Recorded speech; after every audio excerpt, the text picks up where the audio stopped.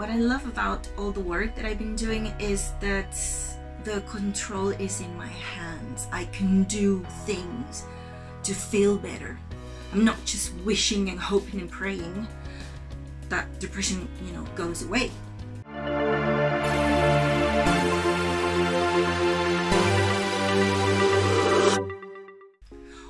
Hola, everybody! Welcome back or welcome to my channel where I talk about uh, mental health, mindfulness, coping skills, and more recently, motivation for people with depression and anxiety. If you're not part of my amazing 62 subscribers, I love you so much, guys. Thank you, thank you, thank you, thank you. Uh, but if you are not part of this wonderful community, consider joining us by clicking the subscribe button and also hitting the notification bell. That way you get a notification every time I post a video. So I wanted to um, tell you guys I didn't post uh, last week and the reason since in this channel we're open about mental illness. The reason being that I was struggling with my depression. I did feel uh, sad that I couldn't post. I don't know if it was that I couldn't or I just actually decided not to do it. First of all um, I'm doing better. I'm feeling better since I've been uh, dealing with my depression because it's not just uh, struggling I've been actively doing things to deal with my depression I decided to make this video to share the things that I I was doing to feel better to not you know give way to all my intrusive thoughts my ruminations. So what I've been doing is I've been thinking about depression as a super villain and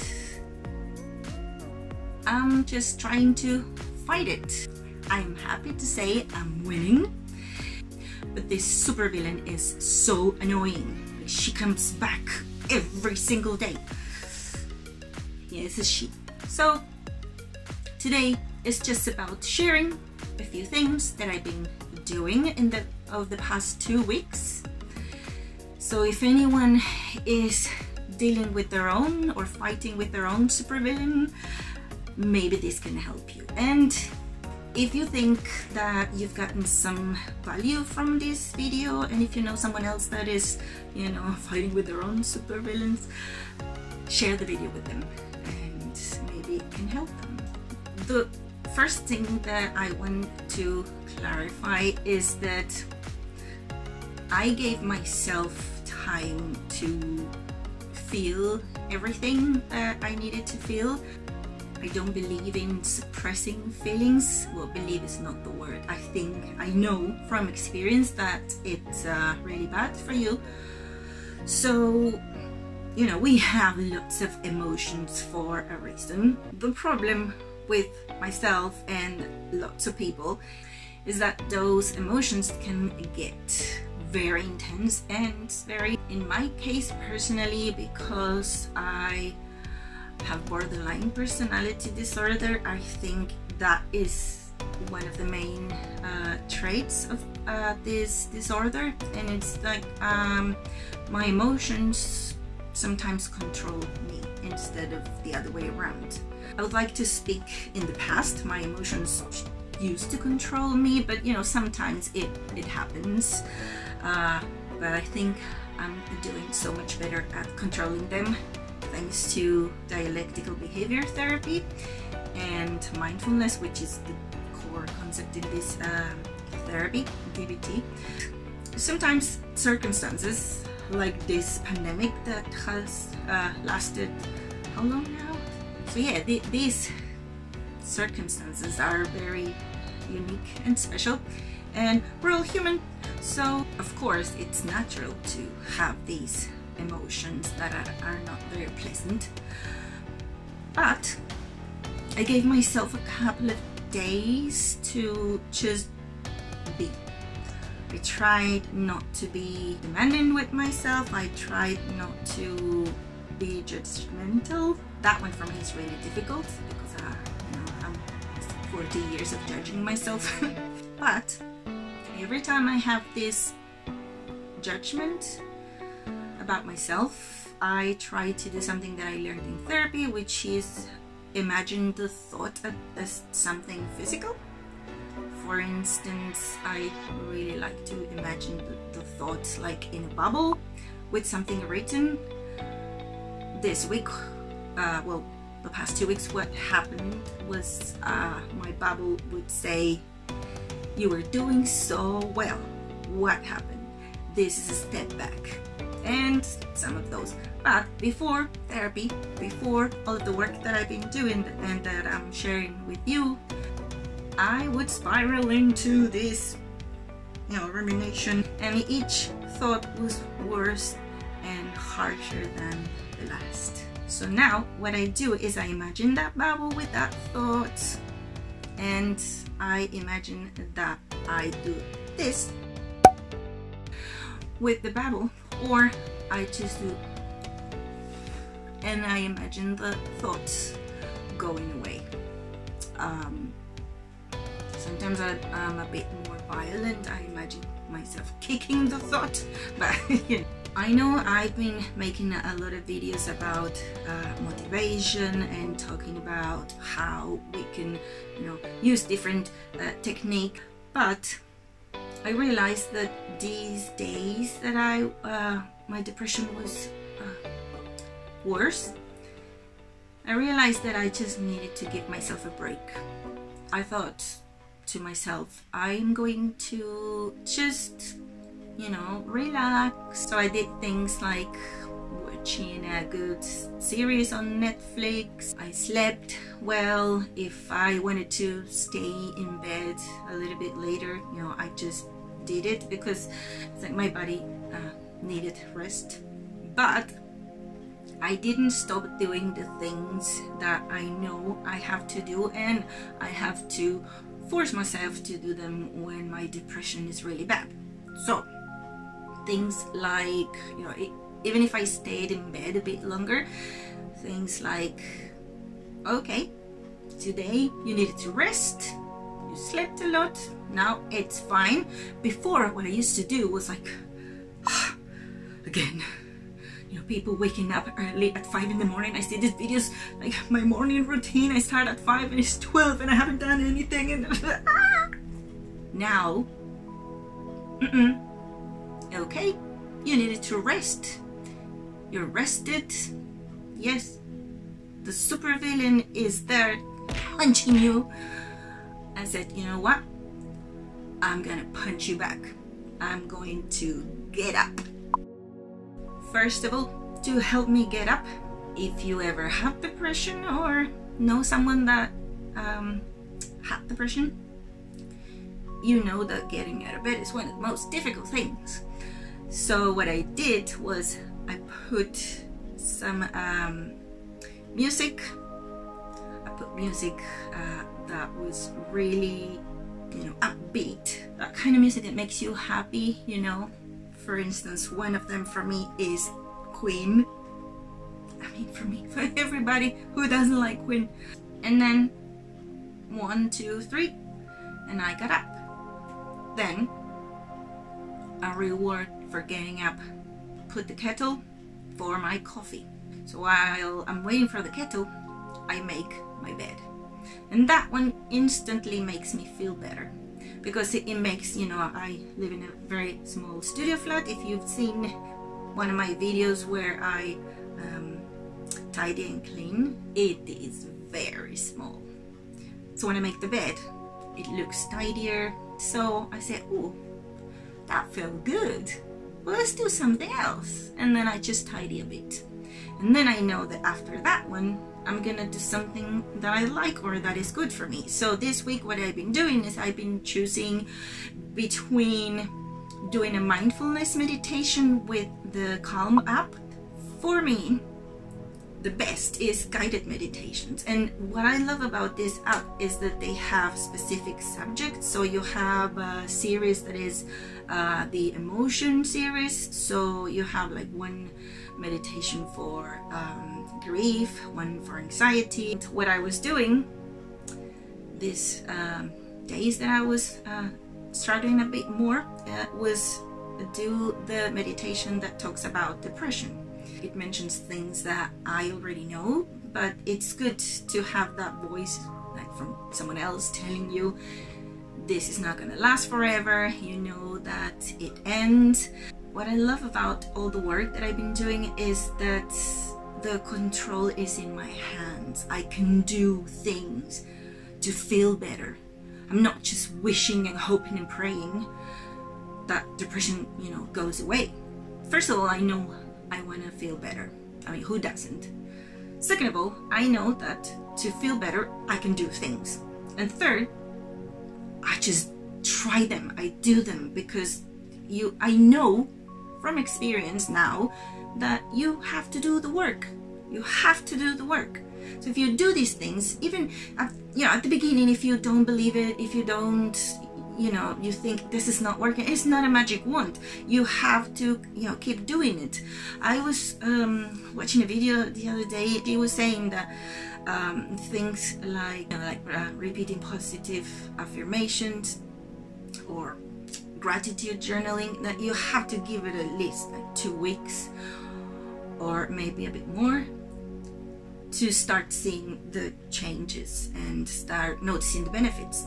So I have been doing my gratitude journaling every day or almost every day for three months already and it has changed my life because you are focusing on the positive things.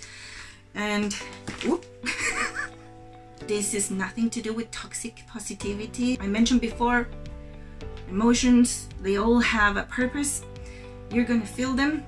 This is different. Instead of focusing on the uh, intrusive thoughts that you're getting for instance um, you know your failure or instead of dwelling on those you know I do the I kick I kick the thought away. They come back. Yeah this supervillain it's so persistent. But this helps the brain if yeah okay. I'm so passionate about this and I have so many ideas that just they all like here's the thing. Nobody can have two thoughts at the same time. So if you have intrusive thought saying, so when are you gonna feel better? When are you gonna be normal? And you have another one saying, I am grateful for the nice meal that I had today. I am grateful for having a place where I feel warm so you are concentrating in that thought. Your mind cannot be engaged in the intrusive thoughts because you are actually thinking, well, what things can I be grateful for? All this time that I'm writing, my mind is focusing on those things. And then awesome because because then you know it you know like like I said like the other thoughts used to escalate and it was like this snowball growing. But with my gratitude journaling it's the same with uh, positive thoughts. I'm writing here and then one thing leads to another you know, to another thoughts and then I'm, I'm I start thinking I'm so lucky because I'm paying more attention and because I'm more mindful, I am by practicing mindfulness, I am trying to be in the moment, then I can pay attention to those things. It doesn't mean that I'm not uh, dealing with depression because, you know, I mean, let's be honest, I've been locked inside here for almost a year. There's nowhere to go. Everything's closed. National lockdown. I barely talk to anyone. I, I you know, I talk with my, my family and my friends online, but I don't have, you know, that human contact, human connection, like holding, like hugging friends. I don't have that, and that is really, really affecting me and my mental health. So I also know that you know, it's natural to, to be um, struggling with my mental health. But instead of, you know, focusing on that, I'm trying to like turn it around and keep punching my super villain called depression with all these tricks. Mindfulness is another thing that has been helping me so much. And it's not just meditation. You you can do so many things throughout the day to be mindful, to practice mindfulness. So my favorite ones are in the shower, and these took a lot of practice. This is gonna sound strange, but I used to dread the shower, and that's another thing that is very difficult to do with uh, depression. Do the day to day regular things like having a shower, take care of yourself. The shower for me was so difficult because that's a place where there's no distractions. I can be watching a movie and, and like pretend that nothing is happening. So, you know, with depression, sometimes it would be four days without showering. Now with mindfulness, after practicing and practicing and practicing, it didn't work at the beginning, but after doing it a lot, now I am able to practice mindfulness in the shower. It's just being in the moment. If your thoughts wander, you just bring uh, your mind back to the present and I have a shampoo that I love the smell so I'm enjoying the smell I'm looking at uh, my sponge and the bubbles that is you know making so I'm engaging smell and touch. Also also I forgot about my coffee. This is another one. Mindfully eating or drinking.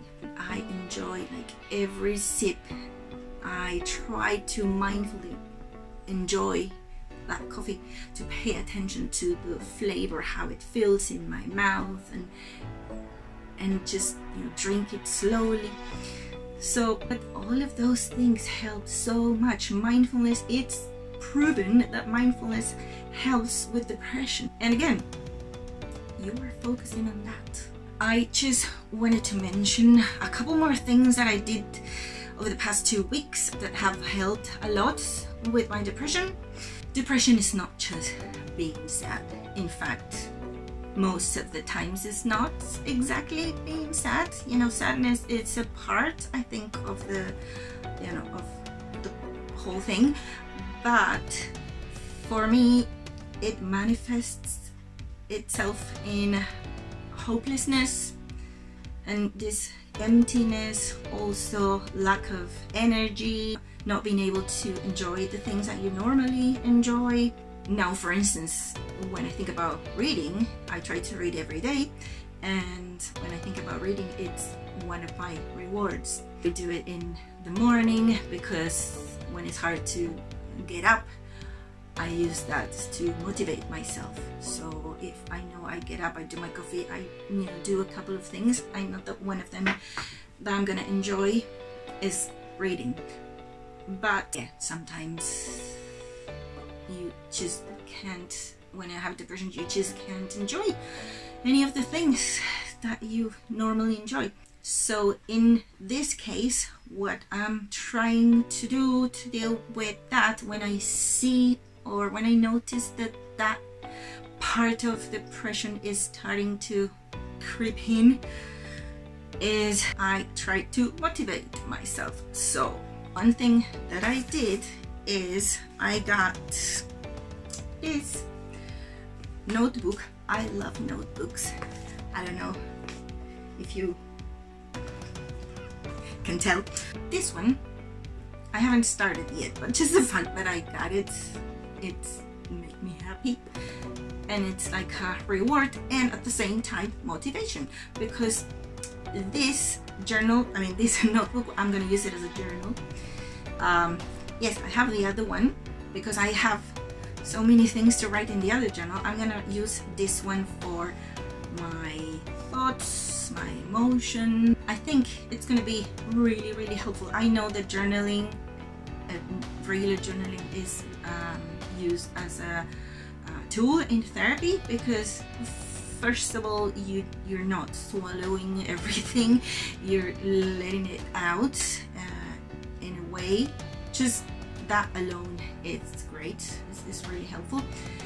But then also because I'm gonna focus on my emotions and you know like uh, all the difficulties I'm having with um, you know the feelings of emptiness I'm gonna focus on those things I'm gonna write them down and that is also something that is hugely helpful you need to know what you're feeling you need to be aware of your emotions because that's the first step to dealing with them and to try to heal and feel better. It's not that easy as it sounds because it's not just sad and happy.